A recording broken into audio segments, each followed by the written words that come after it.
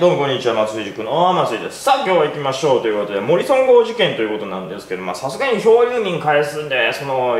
逮捕バランスが、じゃどういう、まずくねえかみたいな感じでね、まあ、まあ、言ったのが、こう、高野長英ということですね。はい。まあ、あの、武術夢物語ということになるんですけど、高野長英が武術夢物語で、今の幕府の考え方とか姿勢は、俺ちょっと納得いかんのですけどね、みたいな感じになるんですね。ただ、これ、簡単にこれ批判してますけどこれ言うなれば鎖国体制おかしくねっていう点と一緒なんですね。これ国転覆するぞみたいなのと結構やばい文章なんですよ。この時代の感覚から言うとね。今までずっと開放その江戸江戸幕府政権から200年近くやってきた鎖国をですね。あの鎖国やめなさいみたいなね、えー、感じのことをね、まあ、言ってるわけですからまあ確かにま処罰されても仕方ないということなんですがまず森三号事件が発生しました。それに対して批判したのが高野長英の母術夢物語でちょっとおかしくねえかっていうことを言い出したということですね。よろしいでしょう。それでは本日もご視聴いただきまして誠にありがとうございます。